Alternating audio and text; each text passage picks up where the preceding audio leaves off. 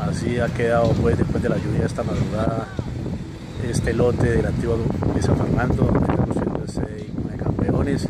Mañana va a ser difícil el trabajo. Ojalá que puedan seguir levantando estas columnas que están levantando aquí. Este silo es el el CDI de campeones.